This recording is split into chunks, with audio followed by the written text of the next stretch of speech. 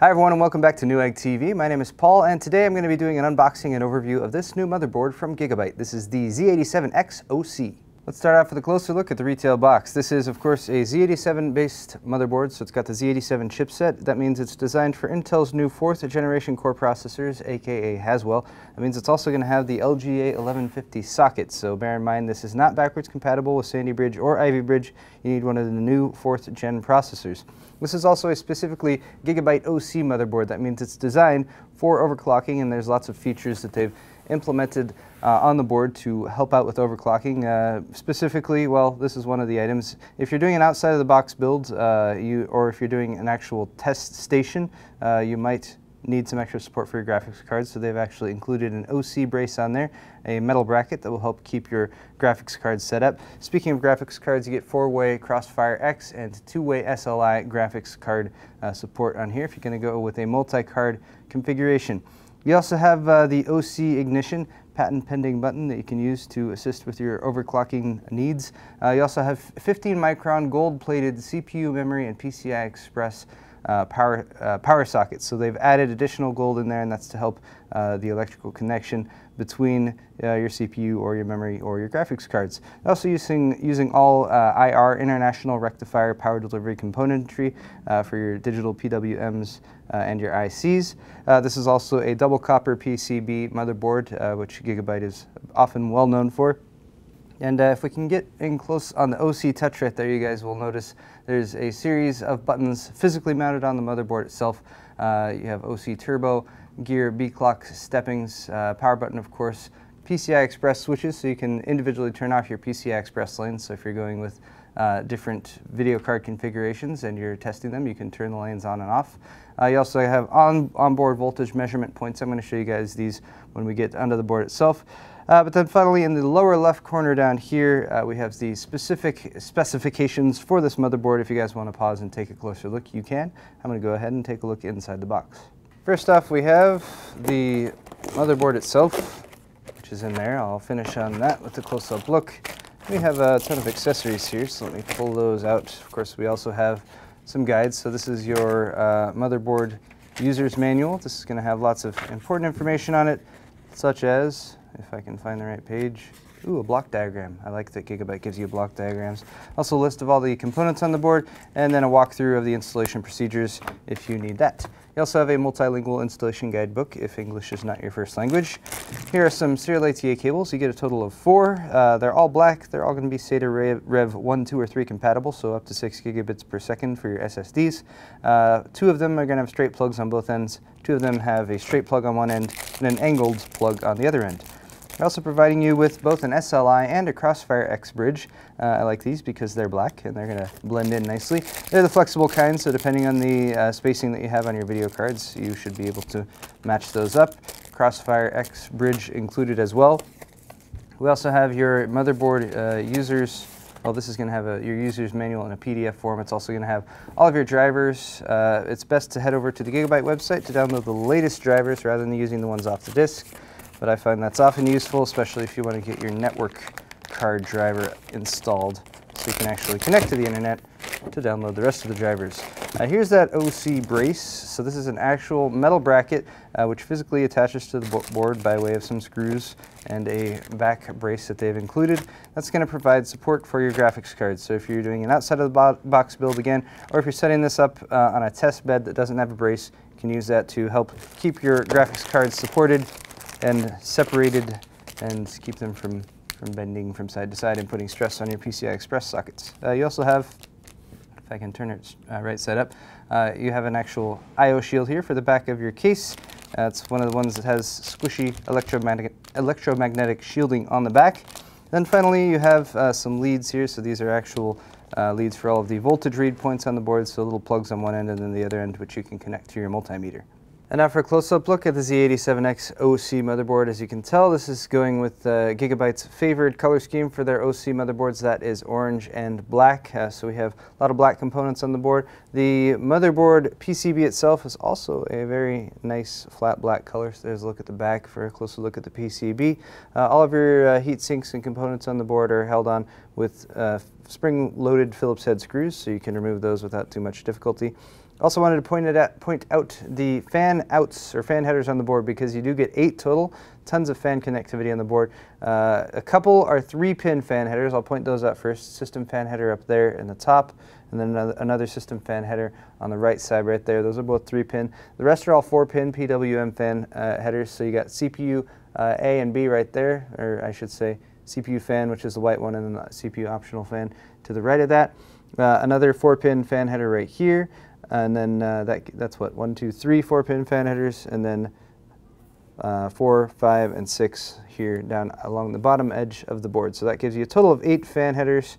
Uh, again, six of them are four pin, and two of them are three pin. Next up, I'm going to take a really close-up look at the board. I'll kind of be going over all the componentry. We're going to start down here in the lower right uh, with the front panel header. So that's the color-coded one that you can see right there, so you can more easily tell which are which. Uh, you also have, well, you got a couple USB uh, connectors right there. I'll come back to those. Uh, but to the left of the front panel header, you have a system fan header right there. You also have a USB out right there, so that's 20 pin front panel USB 3.0 connector. Uh, you actually have two of those on the board. The other one is further up, and I'll get to that one as well. There's the other system fan header next to that. Uh, you also have three, uh, actually I should say two Am I counting? Yes, two, I'm sorry. Two USB 2.0 headers right there. So there's one and two. Each of those will support two USB 2.0 ports. Uh, you also have a COM header right there. Uh, another four pin fan header that I already pointed out right there. Uh, you got SPDIF in and out right there via the uh, pin outs and you also have your front panel audio connector. Uh, next up let's talk about PCI Express because this board is capable of multi-card configurations. So here's all your PCI Express slots um, the orange and the black. Couple legacy PCI slots right there, two black ones, and then a PCI Express X1. Uh, and then you also have all the orange ones. These are going to be for your video cards. The top three are PCI Express Gen 3. Those will be running off of the CPU that you have installed. You also have a fourth one here that's uh, PCI Express Gen 2. That one's routed through the chipset. So uh, let's go over video card configurations that you might be interested in. First off, for two-way SLI, uh, you have these two uh, PCI Express connectors. Uh, all these, of course, are full-length 16x. The top one here is the only one that's going to run at 16x all the time. And uh, your CPU from Haswell, your, your Intel Haswell CPU is going to have 16 PCI Express Gen 3 lanes.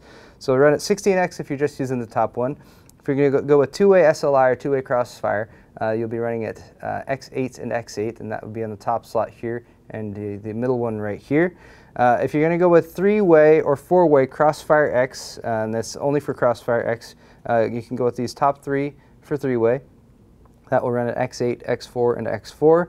Uh, and then if you're going to go with four-way, uh, you get an extra PCI Express Gen 2 connectivity off the bottom there, but that still works for Crossfire X, so that will run at uh, X8, X4, X4, and X4, and that last one, of course, is connected to the chipset. So there's your uh, different configurations for PCI Express. Also wanted to point out you have a PEG, or PCI Express Graphics Power connector right there. If you are running multiple card configurations, uh, you might want to try plugging that one in to make sure you have plenty of juice running to the graphics cards, particularly if you're going to be overclocking them. But I'd say for one or two-way configurations, you should be able to go without that.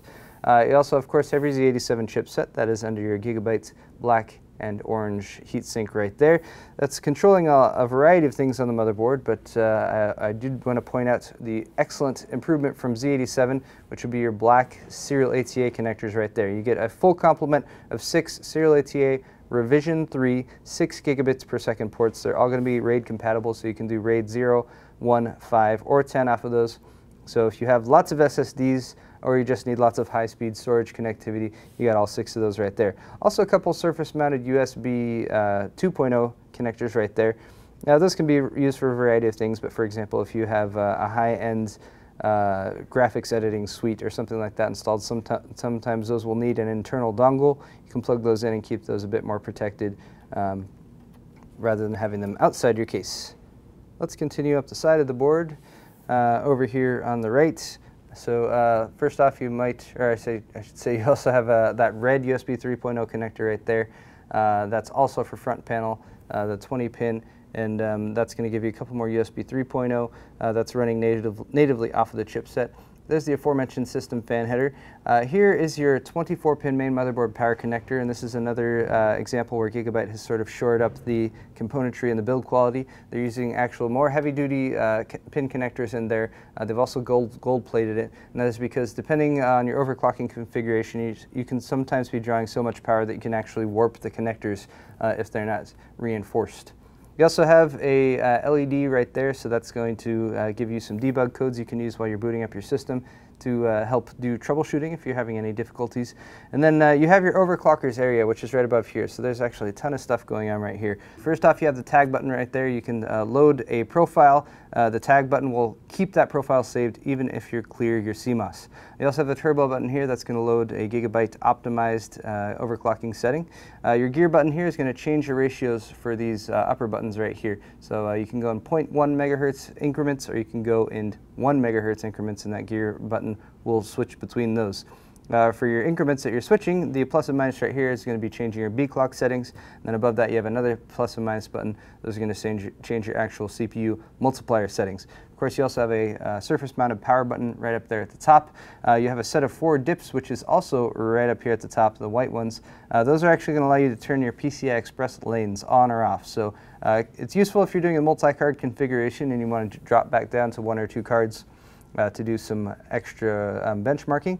It's also very useful if you actually set up a water cooling loop on this. Uh, if you're having any difficulties um, with testing, or if you actually need to go back again and uh, test with one or two cards, you can actually turn those lanes off rather than having to uninstall the cards themselves. You have some buttons next to those. Uh, the white one at the very top is a reset button. Uh, you also have a memory safe button next to that, uh, a direct to BIOS button, and then you also have uh, the uh, settings lock button, and that's another set, uh, option that they're giving you to uh, sort of bypass or, bypass or get around BIOS clear. So you can use that to lock in some overclocking settings, even if you clear the BIOS. You also have your, your BIOS option switches right down there, so those are going to let you enable or disable dual BIOS or switching back and forth between them.